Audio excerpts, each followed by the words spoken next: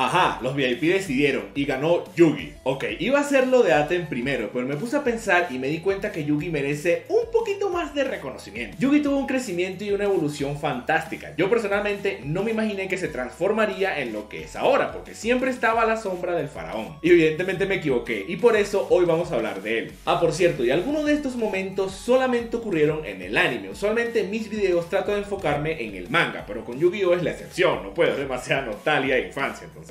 ¿Qué tal chicos y estos son los mejores momentos de Yugi.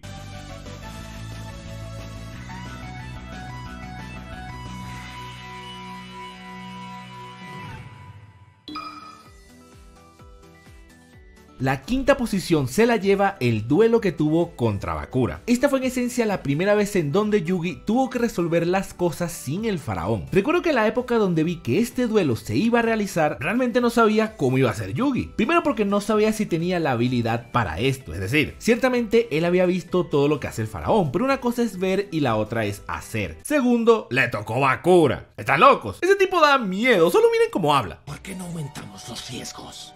Ok, ciertamente Bakura tiene un porcentaje de derrotas altísimo, incluso en su versión egipcia, pero ah, ¿qué quieren? O se enfrentaba a no solamente el protagonista de la historia, el cual claramente lo es con ese cabello imposible, sino que también es uno de los tipos más tramposos que he visto. O si no, se enfrentaba a un tipo que se le caía la cara. ¿Cómo derrotas a alguien que ya de por sí no tiene cara? No puedes. Ok, el punto es que Bakura no era un enemigo tan sencillo y Yugi lo vence. Y con otro mazo. Este fue el primer paso para que Yugi se diferenciara del faraón. Es un gran momento, pero creo que tiene otros mucho mejores.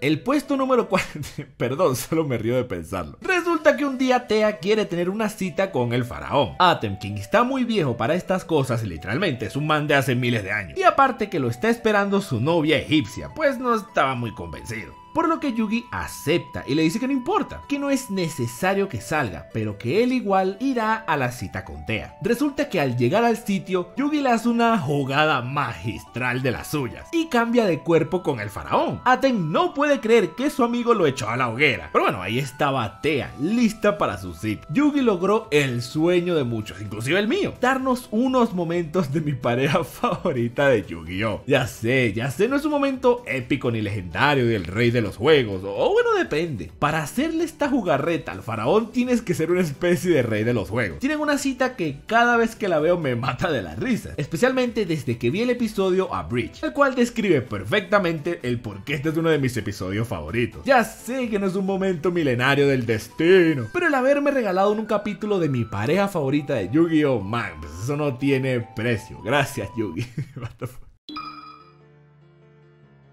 El tercer puesto ocurre en el famoso ritual con el faraón. Man, este es uno de los mejores duelos de la franquicia. Ocurren un montón de cosas y Yugi tiene varios momentos grandiosos aquí, pero este en particular para mí es el que merece el tercer puesto. Ya el duelo se encontraba en sus fases finales y Atem tiene en el campo al mago y a la maga oscura, dos de sus cartas insignias durante toda la franquicia. Y Yugi en vez de acobardarse, el man tenía un plan para esto y efectivamente logra destruirle a los dos monstruos. Sin embargo, Atem también tenía otro plan y logra revivir a Osiris, el que vendría siendo el tercer monstruo insignia del faraón. Y Yugi predice todo esto y logra cancelar la resurrección del dios egipcio. Yugi aquí fue capaz de destruir a los tres monstruos insignia del protagonista sus tres cartas que usualmente siempre le dan la victoria. Los destroza en un turno. Este momento es increíble porque muestra que claramente Yugi es superior al faraón. Usualmente cuando un villano veía a uno de estos tres monstruos significaba una derrota. Esta fórmula la vemos a lo largo de Yu-Gi-Oh! Y aquí Yugi rompe este molde. Aquí pudo efectivamente humillar y destruirle las condiciones de victoria al que había sido el protagonista del anime. Esto es algo que nadie ha logrado y ni creo que logren. Por eso, el haberle destruido las tres cartas insignias a Atem en un turno es uno de los mejores momentos de Yugi.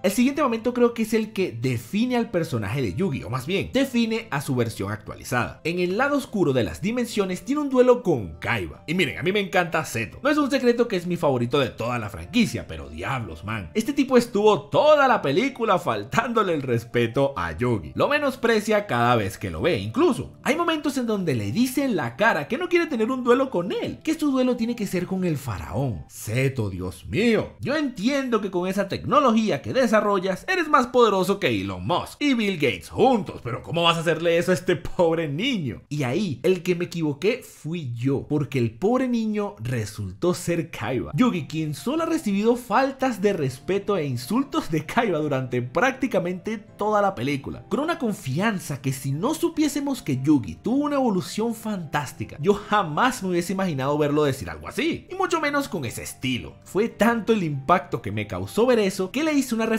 a este momento en uno de mis primeros videos.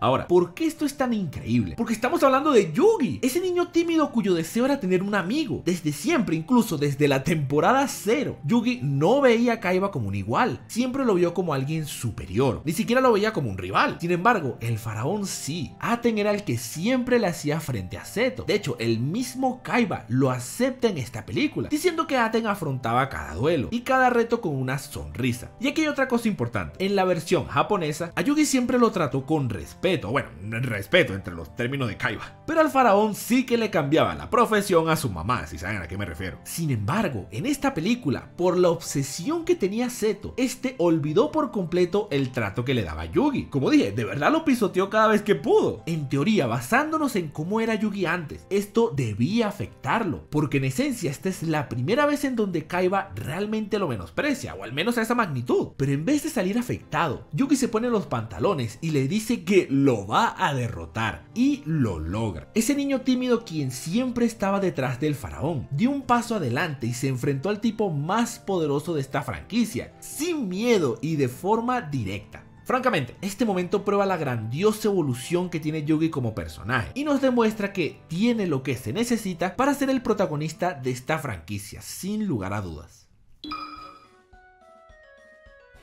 Sí, todos sabemos cuál fue el momento definitivo de Yugi. Obviamente es cuando trabaja de mesero y le lleva el saque a un asesino que... no, no, es cuando derrota a los tres dioses egipcios. Y sí, evidentemente esto fue un logro absurdo, pero vamos a analizar todo lo que hay detrás. Primero tenemos el lado del faraón. Yugi le ha visto la espalda durante toda la serie. Es Atem quien ha resuelto la mayoría de situaciones peligrosas, para no decir todas. Es Atem quien gana los duelos. Es Atem quien tiene el prestigio y respeto de sus compañeros. Hay una frase muy conocida que dice que si quieres ser el mejor, no debes superar a los demás, debes superarte a ti mismo. Y este duelo es la definición de esto. Pónganse en el puesto de Yugi ahora. Estás combatiendo no solo con tu otra mitad, quien sabe todo de ti, también es el tipo con mayor prestigio del planeta, es el rey de los duelos. Para Yugi, este momento debió haberse sentido como pararse enfrente del monte Everest. Tienes todas las probabilidades en contra, y el niño las afrontó y la superó. Sin mencionar que Ishizu nos cuenta que Aten puede manipular su mazo a su antojo, ya que controla su destino. El man ni siquiera ve la carta que saca. El tipo tiene tanto poder que materializa lo que necesite. O sea, básicamente le está haciendo trampa. Y con todo y eso, Yugi sigue. Ahora también tenemos la perspectiva de los amigos. Alguno que otro lo apoya, pero todos tienen dudas todos, cosa que es lógica porque como dije, Aten es quien ha estado al frente todo este tiempo, sin mencionar a Kaiba que literalmente dijo que se largaba, ya que cuando Aten invocó a los tres dioses egipcios, ahí ya no había nada que hacer. Pero ahí Yugi los dejó en silencio a todos con una frase espectacular, que al agregarle la destrucción de los tres dioses egipcios, la convierte en el mejor momento de Yugi hasta la fecha. En la versión de 4Kids, Yugi dice, mejor se los muestro. Y debes estar aquí para despedirte de él cuando pierda. Aunque la versión de 4Kids me gusta más, en la japonesa también dice algo similar y es igual de épico.